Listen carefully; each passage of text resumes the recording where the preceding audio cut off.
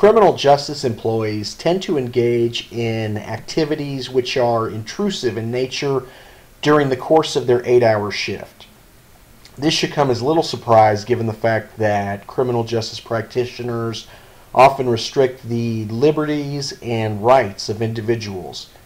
Perhaps this is why criminal justice agencies and personnel are easy targets for litigation. Legal scholars such as Jeffrey Walker and Craig Hemmens argue that individuals who feel as though they have had their civil rights infringed upon are more likely to initiate civil suits rather than criminal charges against the law enforcement personnel in question.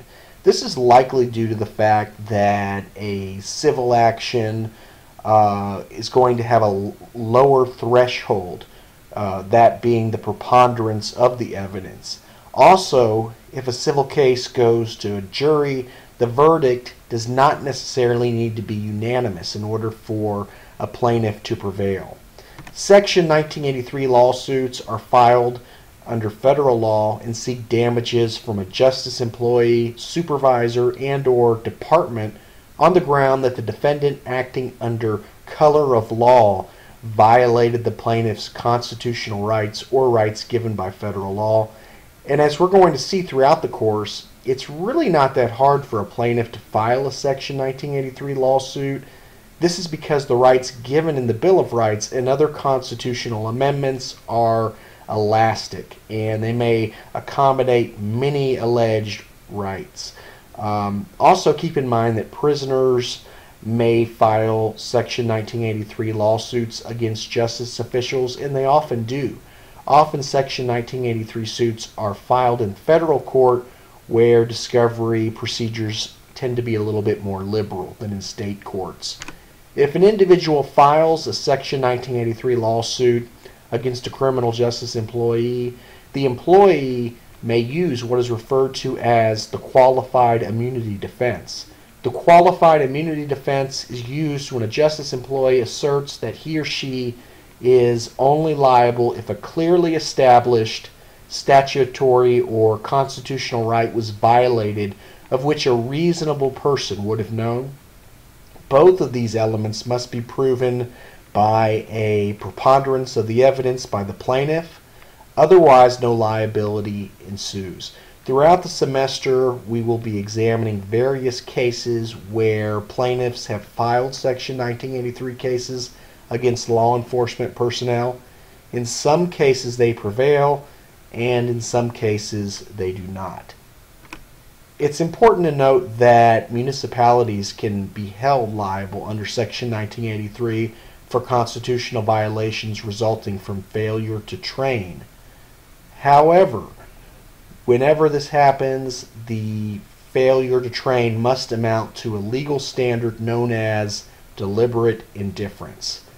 The standard of deliberate indifference is met if a plaintiff can demonstrate that a municipality knows of a need to supervise or train in a particular area and it deliberately chooses not to.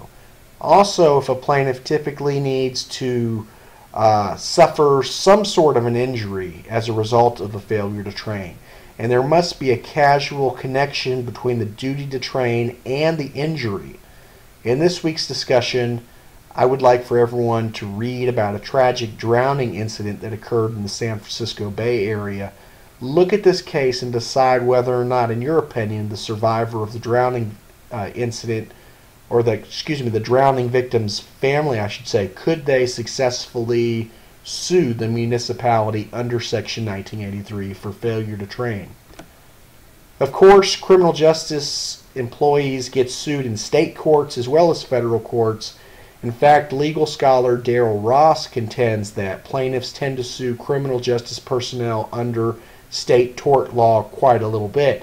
And as he illustrates in his book, Civil Liability and Criminal Justice, there are two types of state tort cases the first type is an intentional tort, which occurs when there is a deliberate attempt on the part of the employee to bring some physical harm or mental coercion upon another person. There are a variety of different types of intentional torts, and we will focus more on these next week. For now, let us turn our attention to negligence torts, which arise whenever a criminal justice employee fails to act reasonably um, when he or she should have been able to foresee harm that was caused by the conduct in question. Think for a moment about a police chase. In your opinion, would it be appropriate for a police officer to drive 50 miles over the speed limit in order to catch an evading felon?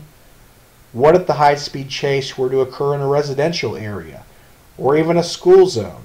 If an officer were to accidentally injure a pedestrian during the course of a chase, should he or she have been able to foresee the consequences of this act? As Darrell Ross asserts, gross negligence is typically required in order for a plaintiff to successfully prevail in a negligence tort case. Often this is determined by a judge or jury in a civil lawsuit. Let's look at another potential example of a negligence tort case involving gross negligence. Suppose a police officer is near the end of his or her shift.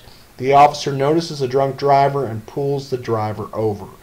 Rather than formally making an arrest, the officer orders the driver to call a friend in order to drive him home. Now, suppose the officer leaves the scene and the driver decides to drive home on his own anyway. If the drunken driver were to injure an innocent bystander, could the officer be successfully sued for failing to make an arrest, which would have prevented an injury? Again, the answers to these questions are often deliberated between attorneys and may even vary from state to state according to state laws. In cases which uh, may be especially egregious, criminal justice employees may be subject to criminal liability under both state and federal law. As Darrell Ross asserts in the second chapter of his book, there are a variety of federal laws which may lead a criminal justice employee to a criminal justice employee's uh, possible incarceration if he or she is in fact found guilty. Keep in mind, though, that unlike in civil cases, the standard of evidence is much, much higher. We know that in criminal cases, a judge or jury must find that a defendant uh, was guilty beyond a reasonable doubt. This indeed is a very high threshold, as it very well should be. In chapter 2 of this book, Ross provides several cases of examples where law enforcement employees were imprisoned after being found guilty of a criminal charge. In his book, Ross also refers to the Violent Crime Control and Law Enforcement Act of 1994. This federal law was more than likely the result of the infamous high profile Rodney King case. Congress passed this law to redress patterns and practices of constitutional violations by the police. This law permits the Department of Justice to investi- investigate claims of abuses by the police and also provides the DOJ with extremely broad investigative powers as well as prosecutorial authority in cases involving excessive uses of force. This same law also permits the DOJ to file civil actions on behalf of citizens. This is important because many times victims of official brutality are young, poor, and often members of racial minorities and often they might be intimidated or not even aware that they have civil liberties under the law. And this law empowers the DOJ to curb official abuses. And as Ross points out, there are additional federal laws such as the Civil Rights of Institutionalized Persons Act, which is designed to protect the civil liberties of incarcerated persons. The Civil Rights of Institutionalized Persons Act does not only include situations where correctional officers use excessive force against inmates, this act also permits the DOJ to bring legal actions against correctional agencies that fail to provide adequate medical care for inmates. This is, in fact, an important issue in correctional law, And keep in mind that prison law is an important piece of the puzzle. In this course, we will actually spend two weeks looking at prison law. And as you will see, there are a variety of different legal issues associated with managing and maintaining correctional facilities. Besides being subject to both civil and criminal penalties, Professors Jeffrey Walker and Craig Hemmens argue that criminal justice employees who fail to comply with constitutional mandates might make evidence inadmissible in court.